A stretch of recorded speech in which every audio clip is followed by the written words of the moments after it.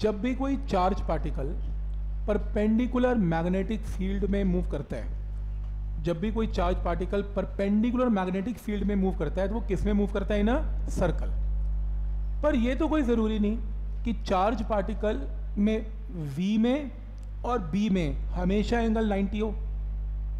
ये कोई ज़रूरी नहीं कि आपको न्यूमेरिकल में हमेशा V और B में एंगल 90 के बनो। अगर तो V और B में एंगल 90 है, फिर तो कोई टेंशन ही नहीं है। Particle will move in a circle. पर अगर 90 नहीं है तो वो सर्कल में मूव नहीं करेगा। वो कैसे मूव करेगा, इसको एक बार चेक करते हैं। ठीक? तो अगर कोई चार्ज पार्टिकल कैसे मूव करता है, suppose this is the direction of magnetic field. ये रहा आपका मैग्नेटिक फ़ील्ड। और suppose this is the direction of velocity vector. ये रहा वी वेक्टर। और दोनों के बीच में एंगल कितना है? थीटा तो बी वेक्टर और वी वेक्टर में एंगल कितना है? थीटा अब अगर ये थीटा 90 होता, है ना इमेजिन करो, अगर ये थीटा 90 होता तो चलो पहले वही कर लेते हैं, ये लो। तो मेरे को आंसर दो कि अगर सपोज़ करो, ये चार्ज पार्टिकल यहाँ जाने की बजाय यहाँ जाता making an angle of 90 with B तो पार्टिकल किसमें मूव करता? इन वी और बी में एंगल कितना है? तो वी और बी में एंगल 90 है तो पार्टिकल किसमें मूव करता है? इन सर्कल हाँ वो अलग बात है कि आपको डायग्राम आपके पसंद का नहीं आया, क्योंकि आपको ऐसे डायग्राम याद हो चुका है कि अगर मैग्नेटिक फ़ील्ड ऐसे है बोर्ड के अंदर है, और पार्टिकल की वेलोसिटी ये रही वी और वी में एंगल 90 फिर हाँ हाँ सर्कल फिर सर्कल क्यों? वी और वी में एंगल 90 है सर्कल लेकिन जब ये केस आता है अब इमेजिन नहीं कर पाते कि इसमें कैसे होगा तो अगला क्वेश्चन बताओ, अभी आ रहे हैं। तो ये तो मानते हो पार्टिकल सर्कल में मूव करेगा। तो अगला केस ये बताओ, अगर ये सर्कल में मूव करेगा तो सर्कल में सर्कल ऐसे बनेगा, या सर्कल ऐसे बनेगा, या सर्कल ऐसे बनेगा, या ऐसे बनेगा। तो कैसे, क्या डायरेक्शन होगी सर्कल बनाने की? पहले वो भी देख ही लो, तब आगे चलते हैं। ठीक है? तो पहले यही केस क्लियर कर लें। तो कितने लोग कहते हैं कि पार्टिकल बोर्ड ऊपर से बोर्ड के बाहर आएगा और फिर नीचे एंटर करेगा बोर्ड के अंदर, फिर बाहर आएगा, फिर ऐसे। मतलब कितने लोग ये मानते हैं कि पार्टिकल ऐसे मूव करेगा? और कितने मानते हैं पार्टिकल ऐसे मूव करेगा? तो पार्टिकल अगर पार्टिकल की अगर डायरेक्शन देखनी है तो मैं आपको रूल बताता हूँ देखते कैसे हैं। क्योंकि ये पुराना केस नहीं है, पुराना केस तो बड़ा आसान था फटाफट। दिखता था सर्कल बोर्ड के ऊपर इसमें सर्कल बोर्ड के ऊपर नहीं है। क्यों? क्योंकि यहाँ पर बी और वी दोनों बोर्ड के ऊपर हैं। अब देखो होगा क्या। फ्लेमिंग का रूल लगा लेते हैं, चलो। फ्लेमिंग का रूल क्या कहता है? ये चार्ज पार्टिकल है, क्यू? तो बी कहाँ पर है? ये रहा। वेलोसिटी कहाँ है चार्ज पार्टिकल की? ऊपर। तो फोर्स कहाँ लगेगी मैग्नेटिक बोर्ड के इनसाइड क्या ये पॉइंट क्लियर है? पहले तो ये बताओ। बी ये रहा। डायरेक्शन ऑफ़ पॉजिटिव चार्ज ये रही। तो फोर्स कहाँ लगेगी? बोर्ड के इनसाइड राइट आप मुझे एक बात बताओ, बोर्ड के इनसाइड अगर फोर्स लग रही है तो फोर्स हमें, और आपको मालूम है कि सर्कल बनेगा तो फोर्स हमेशा कहाँ पॉइंट करती है? Towards centre. यानी कि अगर कोई पार्टिकल यहाँ पर है, और उसका सेंटर यहाँ है, क्योंकि फोर्स यहाँ एक्ट कर रही है तो अब इमेजिन करो, जैसे ये एक पार्टिकल है, ठीक है, मैं ये केस ले रहा हूँ, पार्टिकल की, मैं थोड़ा बाहर निकालता हूँ इसे, पार्टिकल की वेलोसिटी ये रही B arrow B arrow velocity रही तो आपने क्या बोला कि फोर्स कहाँ लगेगी? इनसाइड तो सर्कल का सेंटर यहाँ कहीं मिलेगा आपको राइट जब सर्कल का सेंटर यहाँ मिलेगा पार्टिकल यहाँ से ऊपर जा रहा है तो यार घूम के तो ऐसे ही जाएगा ना। तभी सर्कल का सेंटर यहाँ सेट बैठेगा। अगर पार्टिकल का वेलोसिटी वेक्टर इधर है तो घूम घूम के सेंटर यही मिलेगा उसे। पर सोचो, अगर पार्टिकल ऊपर जा रहा है, पर सेंटर उसका, जो सेंटर है उसका यहाँ की बजाय यहाँ होता अगर मान लो तो पार्टिकल फिर अपने सेंटर के अबाउट ऐसे घूमता। तो अगर पार्टिकल ऊपर जा रहा है और सेंटर पीछे है तो पार्टिकल को ऐसे आना है। और अगर पार्टिकल ऊपर जा रहा है और सेंटर आपको पता लगे इस तरफ़ है पार्टिकल को यहाँ जाना है तो आपको इतना फ्लेमिंग लगाने की ज़रूरत ही नहीं है। आप ये देखो, अगर वी वेक्टर ये रहा और सेंटर इधर है तो ऑब्वियसली सेंटर के आसपास ही घूमेगा। और अगर वी वेक्टर ऐसे है और सेंटर पीछे है तो ऐसे घूमेगा। अब क्योंकि फ्लेमिंग का रूल क्या कहता है यहाँ पर? कि बी ऐसे है वी ऐसे है फोर्स पीछे है। फोर्स पीछे होने का मतलब सेंटर कहीं पीछे है। तो ये पार्टिकल सीधा जाके बोर्ड के अंदर घुसेगा और फिर बोर्ड के बाहर नीचे आता हुआ ऐसे घूमेगा। तो आइडिया समझ में आ रहा है? वैसे पूछा मैंने आपसे, इसका इस टॉपिक से लेना देना नहीं है। बट पॉइंट समझ में आ रहा है कि अगर वी वेक्टर ऐसा दिख रहा है, ये ना दिखेगा नहीं यहाँ पे, थोड़ा बाहर लो। वी वेक्टर ये रहा सेंटर ये रहा तो सेंटर के अबाउट ऐसे घूमेगा, क्योंकि सेंटर यहाँ पर है पार्टिकल ऐसे घूमेगा। और अगर सेंटर यहाँ जाता तो पार्टिकल ऐसे घूम जाता। तो इसलिए यहाँ पर सेंटर पीछे है तो पार्टिकल ऐसे घूमेगा। क्लियर है यहाँ तक? तो इस डायरेक्शन में पार्टिकल सर्कल में घूमेगा। क्लियर है? पर हमारा ये क्वेश्चन नहीं है।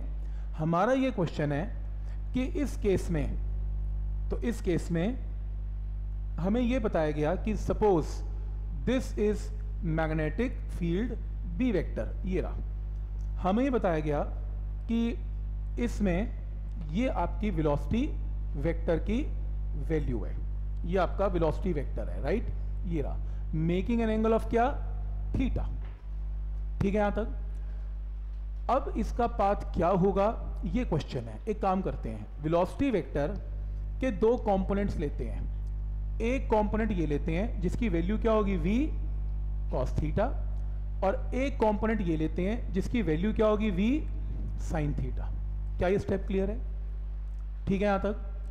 अब जब मैंने वेलोसिटी वेक्टर के कंपोनेंट्स ले लिए तो अब मुझे इस वेक्टर के साथ कैलकुलेशन नहीं करनी, क्योंकि अब मैं जो कैलकुलेशन कर रहा हूँ वो किसके साथ करूँगा? इसके कंपोनेंट्स के साथ करूँगा। क्या स्टेप क्लियर है? तो अब यानी कि वेलोसिटी वेक्टर को हमने दो कंपोनेंट्स में डिवाइड कर लिया। एक ये रहा, एक ये रहा। राइट अब एक बात बताओ। अगर दो मिनट के लिए भूल जाओ कि ये वेलोसिटी ये जो वेलोसिटी है, ये है ही नहीं। सपोज़ करो मान लो एक मिनट के लिए। इमेजिन करो कि ये वेलोसिटी है ही नहीं। बस ये वेलोसिटी है। अब ये जो वेलोसिटी है, ये बी के साथ एंगल क्या बना रही है? 90 तो ये वेलोसिटी पार्टिकल को कैसे घुमाने की कोशिश करेगी? इन सर्कल देखो, कोई भी वेलोसिटी है चाहे वो किसी भी फॉर्म में हो 10 metre per second 15 metre per second v v sine theta v को उससे क्या फ़र्क पड़ता है? ये कोई वैल्यू होगी वेलोसिटी की जो भी होगी?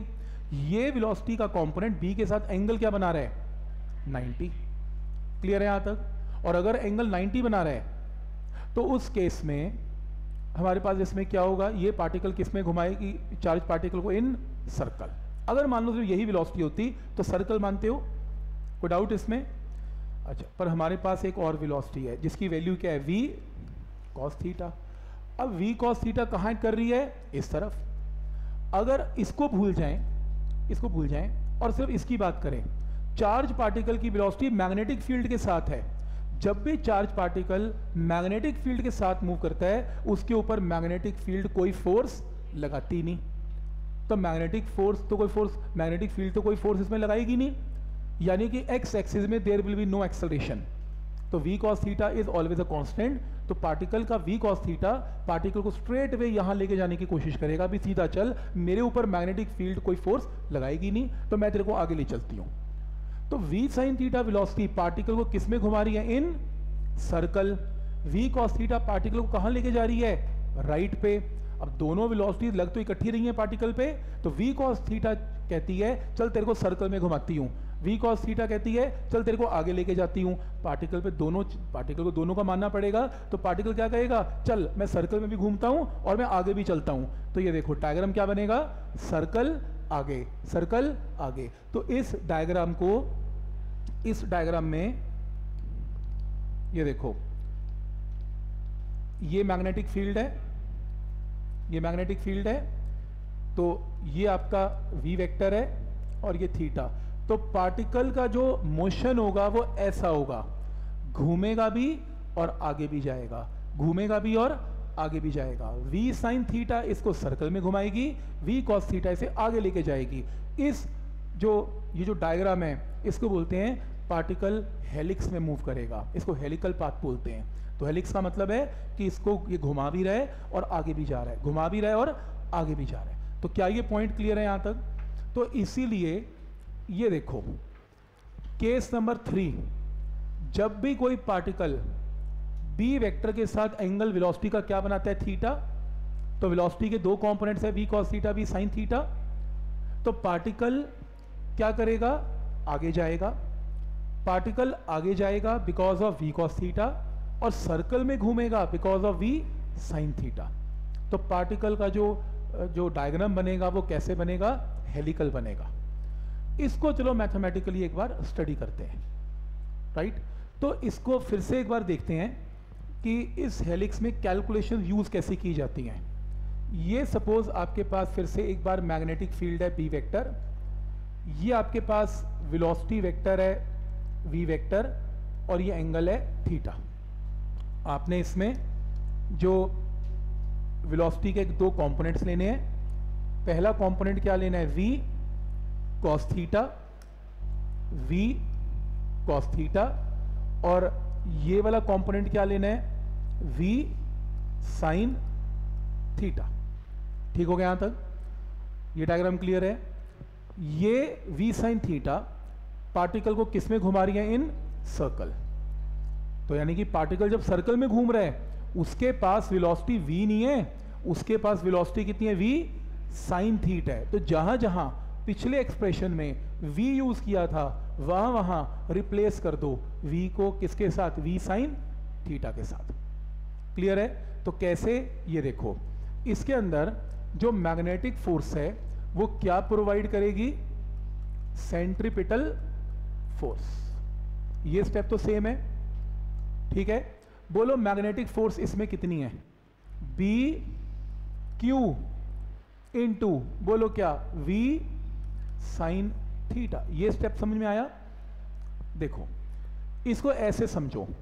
मैं आपसे अगर एक क्वेश्चन पूछता हूँ, बहुत सिंपल क्वेश्चन कि अगर आपके पास ये बी वेक्टर है, ये आपके पास वी वेक्टर है, बस, नया क्वेश्चन है। दोनों में एंगल क्या है? 90 बोलो, ये चार्ज पार्टिकल फोर्स एक्सपीरियंस क्या करेगा? बी क्यू वी साइन 90 या फिर straight way B Q V क्या स्टेप क्लियर है? मतलब अगर वेलोसिटी और बी आपस में 90 पे हैं तो फोर्स की वैल्यू क्या लिखी जाएगी? B Q V B into Q into V done अगर मैं अपना क्वेश्चन चेंज कर दूँ, मैं यहाँ पर v की जगह वैल्यू लिखने वाला हूँ v साइन थीटा तो आपको कोई बात नहीं। हम रिप्लेस कर देते हैं रिज़ल्ट को। यहाँ पर v की जगह क्या लिखेंगे? V साइन थीटा बस। तो क्या ये पॉइंट क्लियर है? अगर ये v होता और b और v में एंगल 90 होता तो फोर्स क्या होती? V क्यू वी लेकिन अगर v की जगह ये 10 मीटर पर सेकंड होता तो यहाँ पर पुट कर देते हैं 10 मीटर पर सेकंड अगर 20 होता तो 20 अगर v साइन थीटा है तो straight way v sine theta क्या ये स्टेप क्लियर है? ठीक है, यहाँ तक। तो इसका मतलब क्या मैं ये बोल सकता हूँ? कि मेरे इस क्वेश्चन के अंदर, मेरे इस क्वेश्चन में v साइन थीटा रिस्पॉन्सिबल है सर्कल में घुमाने के लिए। तो सेंटीपिटल का फॉर्मूला बी क्यू वी नहीं B Q V sine theta और इज़ इक्वल टू सेंट्रीपिटल का फॉर्मूला क्या होता है बोलो? एम वी स्क्वायर बाय मान लो आर रेडियस में हेलिक्स बन रहा है तो अगर ये हेलिक्स बनाएँगे तो इसका जो रेडियस बनेगा लेटर सपोज़ वो कितना है? आर अब एम इंटू कौन सी वेलोसिटी के साथ हम काम कर रहे हैं? जो सर्कल में घुमा रही है, उसकी वैल्यू कितनी है? M V sine theta V नहीं है। तो सेंट्रीपिटल का फॉर्मूला एम इंटू क्या पुट करेंगे? वी साइन थीटा का स्क्वायर बाय आर मतलब जो जो काम पिछले एक्सप्रेशन में वी वी ने किया था, वो वो काम इसमें कौन करेगा? V sine theta V sine theta करेगा। मैं प्रूव भी कर सकता हूँ। जैसे अगर मान लो वी और बी में एंगल 90 है, पिछला केस बन गया। तो पिछले केस में साइन 91 साइन 91 आंसर फिर आ गया M B square by R तो पॉइंट समझ में आ रहा है, बस इसके अंदर पिछला केस ही है। But instead of using V V R using V sine theta तो सेंटीपिटल फोर्स में M V sine theta square by R तो यहाँ से जब इसे कैंसिल करेंगे तो रेडियस की वैल्यू आएगी।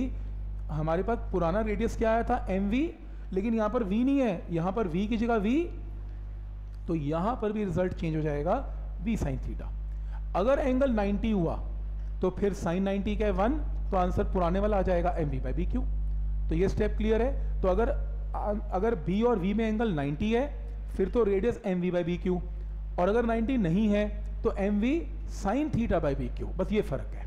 तो ये आपके पास क्या आ गया? हेलिक्स का रेडियस आ गया. अब रेडियस निकालने के बाद, अगर मैं पूछूँ इसका टाइम पीरियड निकाल, एक सर्कल का चक्कर कितनी देर में पूरा होगा? Two pi R by velocity V. अरे वी कैसे? एक चक्कर सर्कल का। वी के साथ थोड़ा कवर हो रहा है। v साइन थीटा के साथ कवर हो रहा है। तो जहाँ जहाँ वी है, वहाँ v साइन थीटा। तो two pi R upon V sine theta. तो यहाँ पर time period will be equal to two pi R की वैल्यू कितनी है? M V sine theta divided by B Q divided by V sine theta. यहाँ से ये कैंसल। तो टाइम पीरियड क्या आ गया? टू पाई एम बाय देखो, टाइम पीरियड में कोई फ़र्क नहीं। पिछला सर्कल वाला टाइम पीरियड और ये टाइम पीरियड में कोई फ़र्क नहीं है, it will remain same. Radius में फ़र्क है, टाइम पीरियड में फ़र्क नहीं है। Frequency is reciprocal of time period तो फ्रीक्वेंसी में भी कोई फ़र्क नहीं है। ये रहा। और ओमेगा में भी कोई फ़र्क नहीं है। सेम एक्सप्रेशन है। बट आपको कॉन्सेप्ट समझ में आया कि इसमें रेडियस की वैल्यू कैसे निकली और पाथ इसमें हेलिक्स क्यों हुआ? अब इसके अंदर आपसे एक और टर्म पूछी जा सकती है। क्या पूछी जा सकती है? आपसे पूछा जा सकता है कि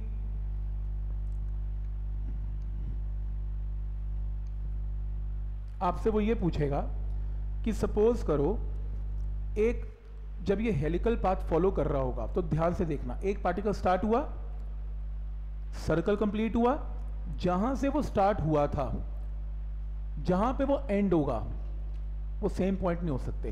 क्योंकि पार्टिकल को साथ साथ कहाँ जाना है? आगे जाना है। तो मान लो एक पार्टिकल यहाँ से स्टार्ट हुआ।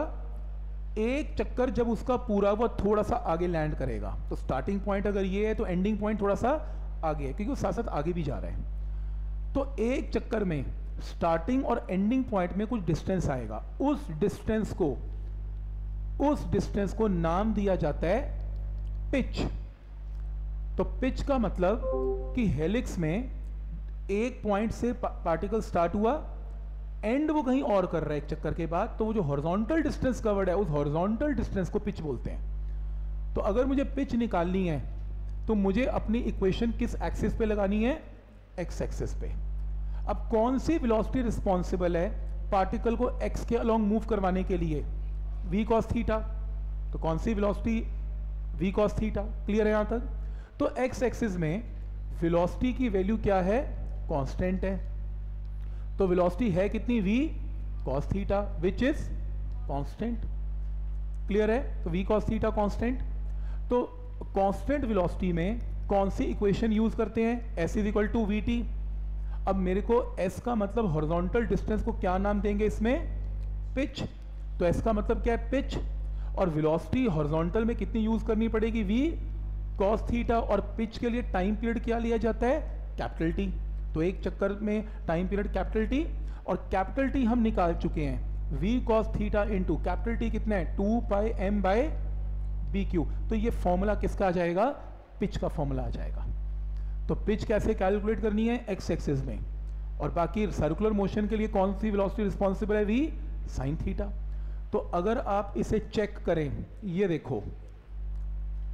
अपनी इसमें थ्योरी में तो ये ये री पिच मैग्नेटिक फ़ील्ड प्रेजेंट है B cos theta B sine theta इसमें रेडियस ऑफ़ हेलिक्स क्या होगा? M V sine theta by B Q time period क्या होगा? Two by M by B Q और पिच क्या होगी? V cos theta into time period two by M by B Q तो क्या ये पॉइंट सब